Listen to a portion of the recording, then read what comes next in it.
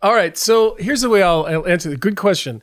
I would say this: if I were to show up to play Red Clark on any other TV show, I think it would be really hard to do.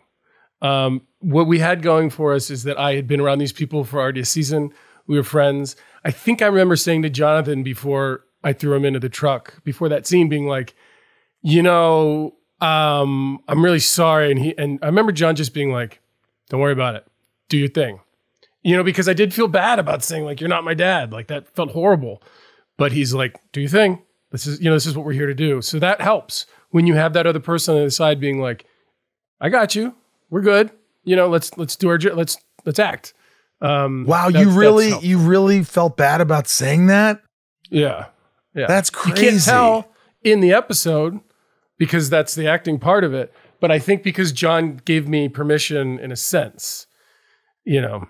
Plus the same thing with like Glover, like being a jerk to a blind man. You know what I mean? Like, but that that stuff we uh, we were already professional and and friends, so it helped a lot. Yeah, I agree.